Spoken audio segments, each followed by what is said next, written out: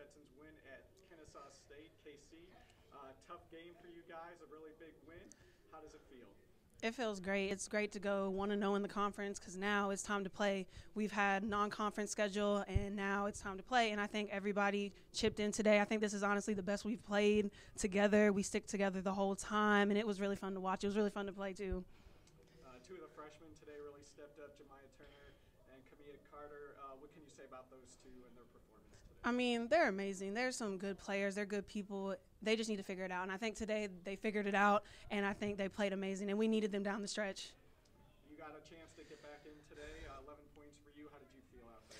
I felt good, honestly. It felt great to be back with my team, and it felt great to get the W. Uh, Day Day got in foul trouble early, but everyone else just seemed to step up. Um, how, how were you guys able to do that? Um, well, when when one person's not having the day, we have to all step up. We have to all connect it. I mean, she got in foul trouble early, so I knew I had to step in and give energy and do my job, and that's all I wanted to do, and that's all I did. All right, keep it going. Thank you. Thank you.